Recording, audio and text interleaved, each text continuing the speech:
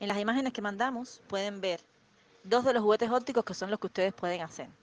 Uno es el taumatropo, taumatropo, que sencillamente un cartoncito redondo donde tienen que hacer una imagen por delante y una por detrás y cuando uno mueve los bordes de ese cartoncito con unos hilitos, la imagen se une en nuestro cerebro y nos parece que es una sola imagen en vez de dos imágenes separadas.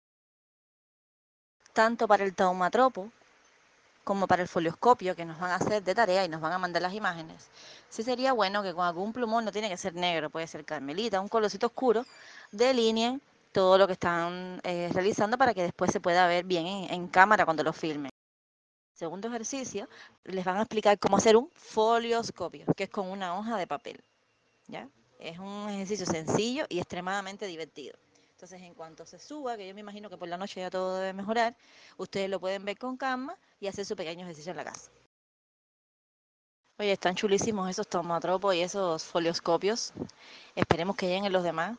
Y entonces lo que nos hace falta después es que ustedes los guarden y hacerles unas buenas fotos para poderlos convertir en unos GIF animados que podemos poner en el sitio de, de la Academia Animaluz. Los espero. Espero los demás folioscopios y tomotropos para deleitarme.